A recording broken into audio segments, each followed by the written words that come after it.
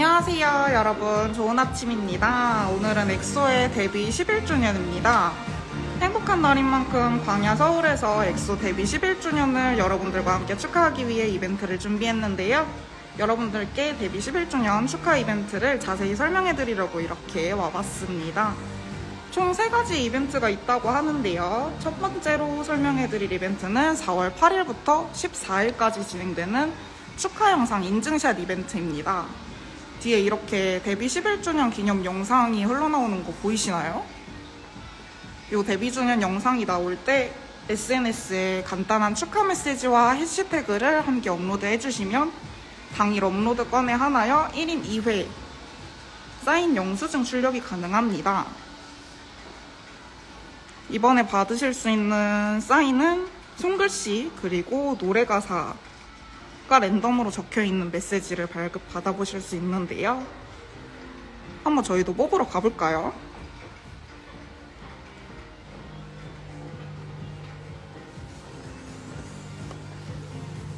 짜잔. 눌러볼게요.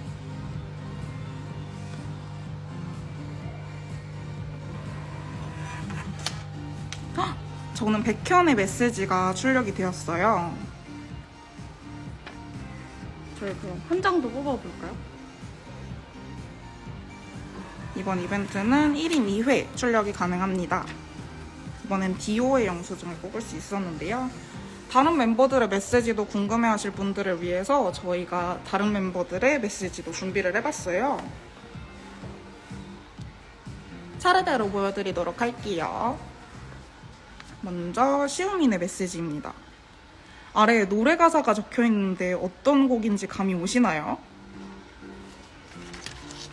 다음은 수호의 메시지입니다.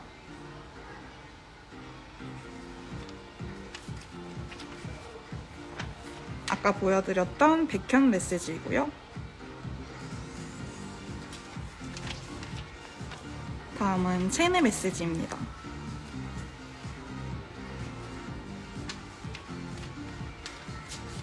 찬열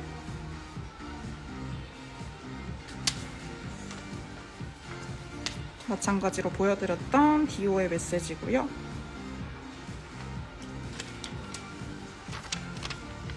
지금 보여드리는 사인 메시지 노래 가사 랜덤 출력 이벤트는 축하 영상을 촬영해주시고 지정된 해시태그와 간단한 축하 메시지 SNS에 같이 업로드 해주시면 광야 서울에서 출력이 가능합니다.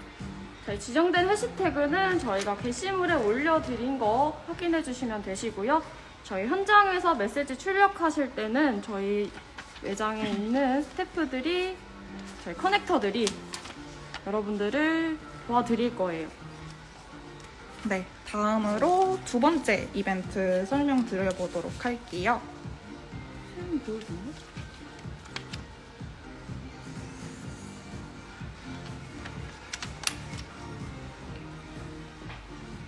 데뷔 주년 기념 Meta Passport 스탬프 이벤트인데요. 저희 광야 서울에 방문하시면 Meta Passport 어플리케이션을 통해서 스탬프 발급이 가능합니다. 이번 이벤트는 당일 한정으로 진행되는 이벤트라서 광야 서울 혹은 광야 자카르타, 광야 에버랜드에서 발급받으실 수 있는 스탬프입니다. 저희 스탬프는 Meta Passport 어플을 통해서 발급 받으실 수 있는데요.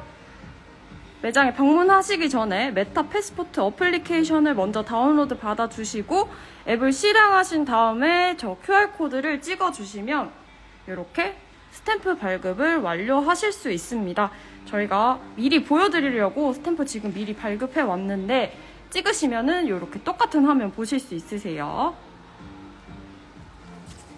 네, 마지막으로 설명드릴 이벤트는 인스타 스토리 프레임 필터 이벤트입니다.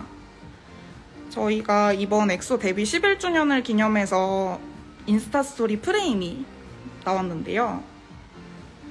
한번 같이 사용을 해보도록 할게요. 인스타, 스토, 인스타 스토리 필터는 광야 서울 어플리케이션에 들어, 아, 광야 서울 계정으로 들어가시면 여기 별 3개 이렇게 모양이 있어요. 이거 누르시고 엑소 데뷔 기념 프레임을 누르시고 사용해 보기를 하시면 이렇게 엑소 전용 프레임, 엑소 데뷔 기념 프레임을 이렇게 사용해 보실 수 있습니다. 프레임 너무너무 반짝반짝하죠. 이렇게 필터를 써서 스토리 업로드 하신 분들 중 추첨을 통해서 SMTOWN &STORE 온라인에서 사용하실 수 있는 1만원 할인권을 선물 증정 드립니다. 네, 이렇게 이번 엑소 데뷔 11주년 이벤트들을 살펴봤는데요. 한 번만 더 기간 확인 도와드리도록 할게요. 첫 번째로 소개해드렸던 축하 영상 인증샷 이벤트 해시태그와 축하 메시지 같이 업로드 해주시면 4월 8일부터 14일 한정으로 저희 사인 메시지 랜덤으로 출력해보실 수 있습니다. 두 번째로 설명드렸던 Meta Passport 스탬프 오늘 당일만 발급이 가능하시고요. 인스타 스토리 프레임 필터 이벤트도 4월 8일부터 4월 14일까지 진행이 됩니다.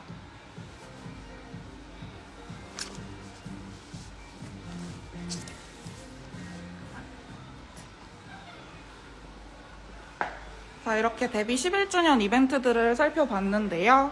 여러분 오늘도 엑소와 함께 즐거운 하루 되시고 광야 서울에서 이벤트도 참여해 보시면 좋을 것 같습니다.